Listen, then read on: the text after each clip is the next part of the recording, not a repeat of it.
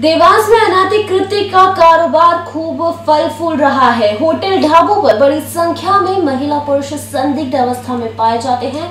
हाल ही में स्टेशन के पास एक अधेड़ युवती के साथ रहवासियों की शिकायत पर रंगे हाथ धराया।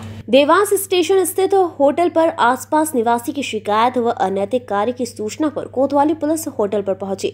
होटल पर कार्यवाही के दौरान एक अधेड़ व्यक्ति युवती के साथ होटल पर मिला।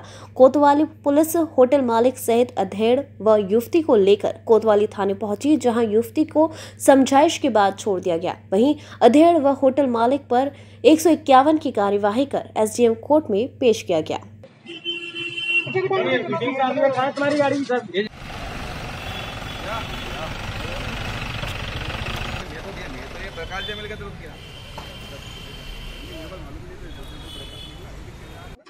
तो मोबाइल दो पहले। मोबाइल दो इसका लो